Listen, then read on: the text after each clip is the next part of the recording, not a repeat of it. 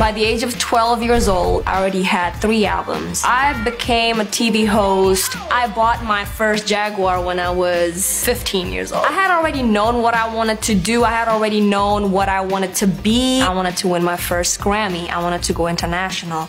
July 1st, 2011. I got a phone call. Timbaland was looking for me.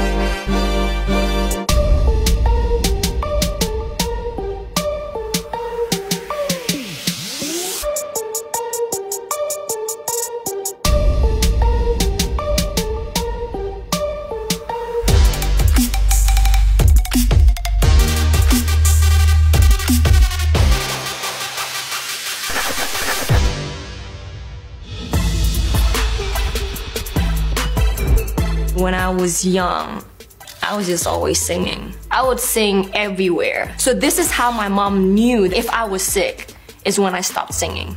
Isn't that funny? Music was probably my first language. Other than my music memory, I don't remember anything else.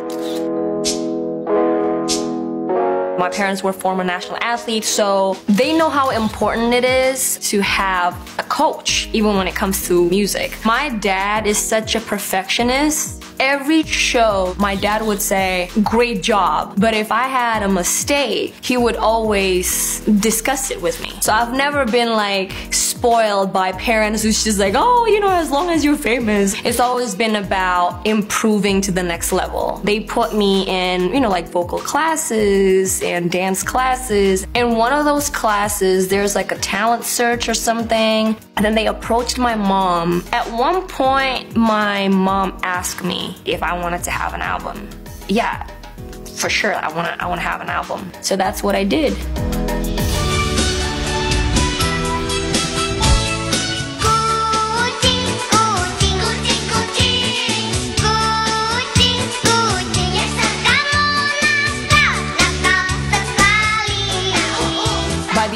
12 years old, I already had three albums and did a lot of tours. My ride was just beginning. Setelah kita melihat pakaian yang bagus-bagus, I became a TV host, kind of like the Indonesian version of a Mickey Mouse Club. And then I had a role in one of the most legendary character in Indonesia.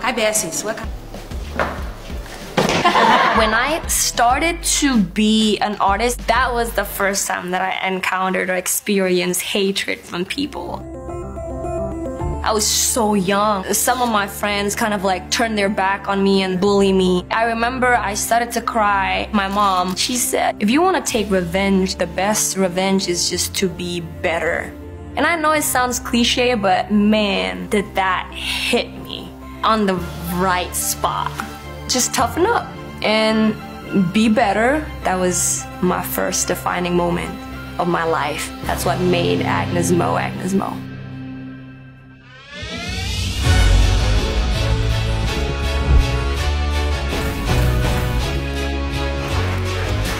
You know what? I didn't know how much I was making. I kind of got the idea, especially because I knew that, you know, people talked about it, like everything is on the tabloid.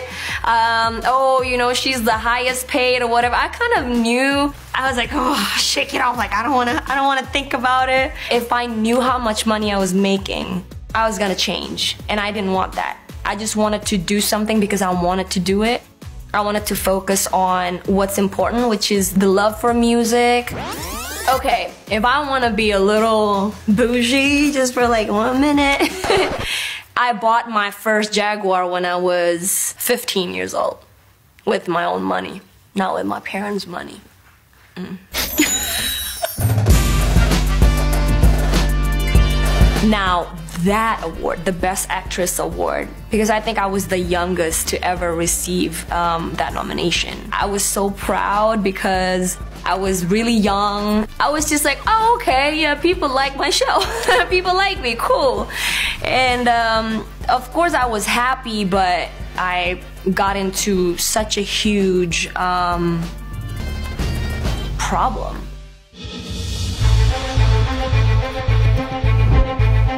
On one of the TV shows that I was the main lead, there was, you know, crazy, sneaky shit going on. They made me the scapegoat. So they said Agnes was being such a diva. The press kind of gave me hard questions and pushed you against the wall. I was an easy target. That's how I learned no matter how nice you are to people, you can't control what they're gonna do to you. All you gotta do is just do you and, and be good to people.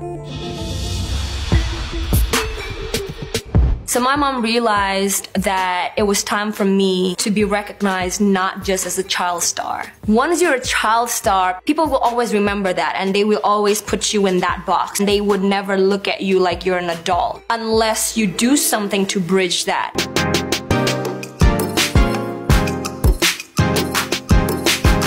After that people started to accept me. Oh she's not she's not a child anymore. And that's when we decided to have another album coming out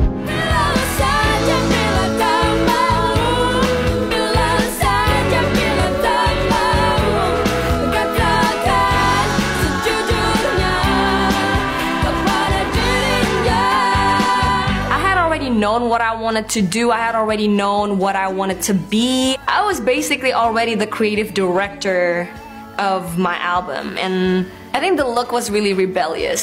Street life, urban culture, just a lot of diversity, just fun, you know, just like the cool kids hanging out.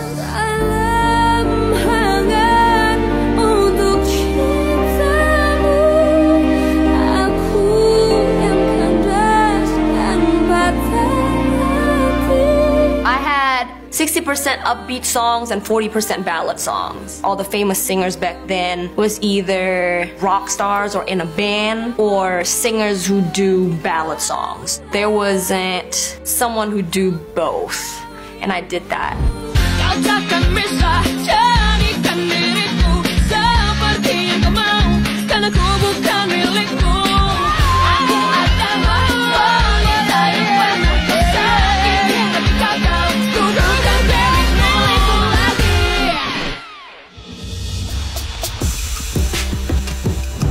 I love to have goals. I love to be able to envision my next step. I told the press that I wanted to go international. Tabloids started to have this crazy headlines like arrogant Agnes. I, I, didn't have any intention of me being arrogant whatsoever. It was really me sharing with, you know, the press and the fans, hey, I wanted to go international. I think I wanted to win my first Grammy. Like, I really need to do this. But when I said that, I was being called arrogant. I couldn't say it because I was just an Indonesian because those people told me that I could make it and now I actually want to make it happen. So I compiled this huge pink folder of all the names that I wanted to work with. And the first page, the first name in that binder was Timbaland's name. July 1st, 2011. I got a phone call. Timbaland was looking for me.